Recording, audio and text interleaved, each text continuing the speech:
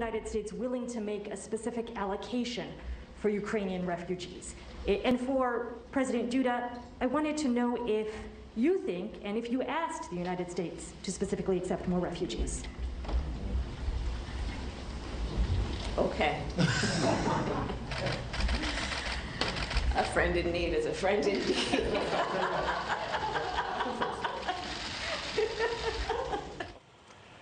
That's our vice president, and she went to Europe.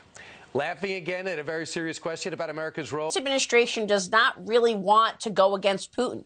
They want him as a, a partner in climate change. They want him in a, as a partner in the Iran deal. Here's Kamala Harris with really no answers uh, when asked about gasoline prices. Watch how she responds. Look.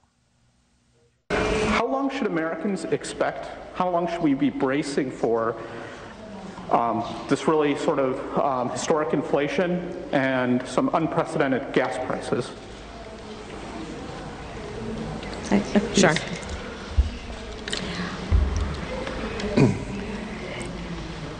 In terms of uh, the discussions that the President, Iohannis, and I had, uh, they ranged in subject, including the issue of the Black Sea, and I'll let him explain in more detail as he would like. You may have noticed this week that your gas prices have gone up. I want to talk to you a little bit about why. A lot of it has to do with Vladimir Putin.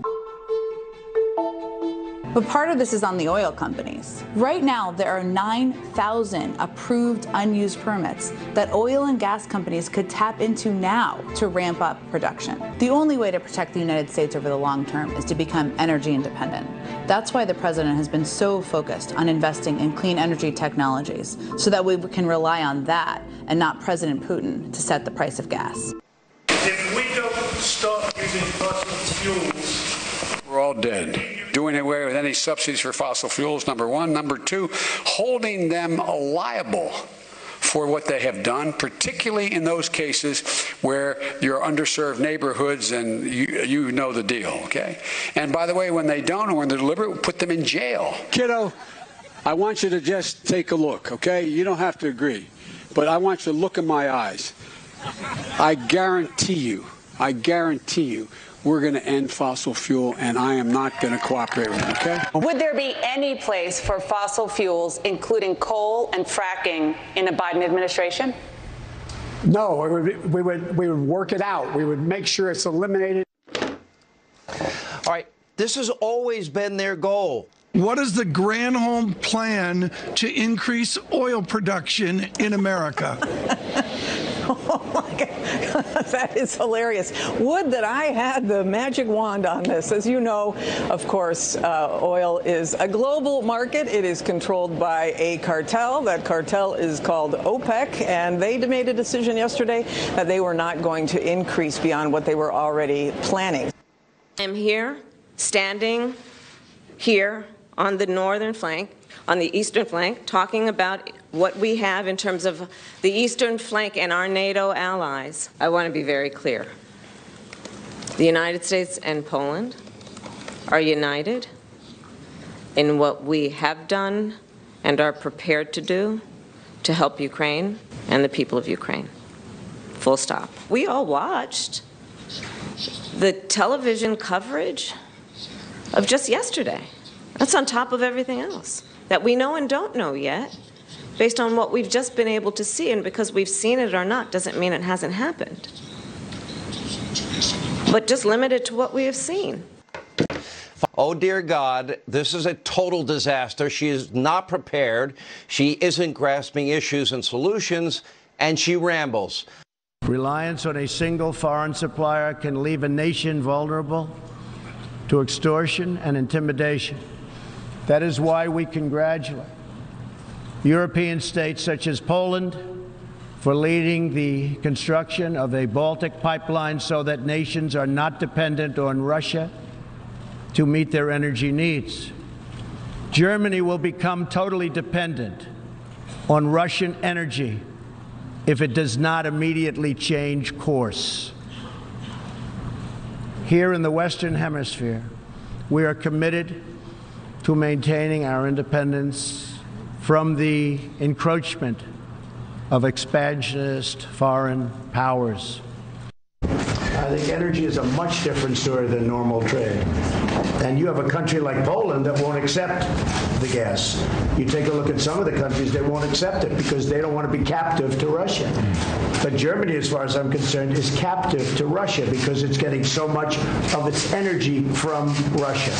So we're supposed to protect Germany, but they're getting their energy from Russia. Explain that. And it can't be explained. You know that. An incredible thing that have, it's happened over the last few years, a lot of great things, and you're paying, what, $2 a gallon for your gasoline? That's okay. You know what that's like? That's like a tax cut.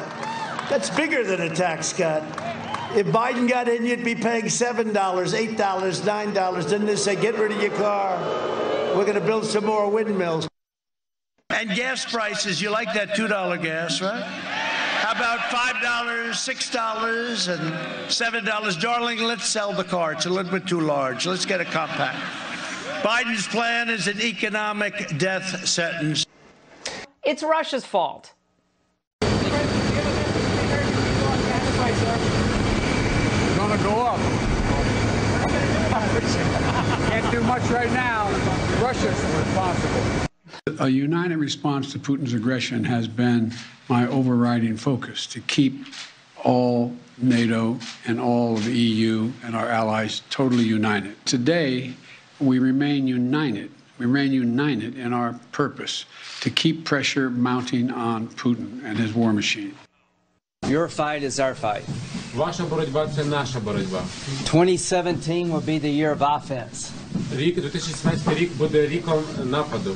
All of us will go back to Washington and we will push the case against Russia. Ми всі повернемося до Вашингтону і ми будемо відстоювати е, е, санкції проти Росії. Enough of a Russian aggression. Досить вже російської агресії. It is time for them to pay a heavier price. What we call disinformation, and it was designed to get you to support a war against Russia.